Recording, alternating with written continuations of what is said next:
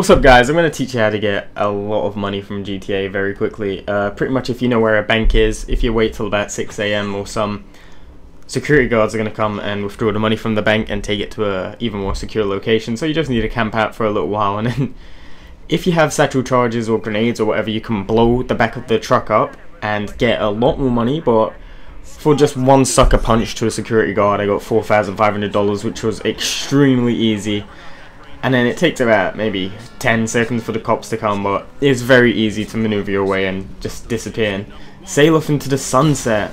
As you can see here I just like dr drove onto the um, railway tracks and I just disappeared. They couldn't find me at all. And within like 5 seconds my um, stars were gone. So I just made the quickest $4,500 I've ever made in GTA and it does help out a lot especially if you're you know just starting the game which we all are because we just got the game today. Anyway thank you for watching the video. If you liked it please do give it a like. Thank you for watching. Goodbye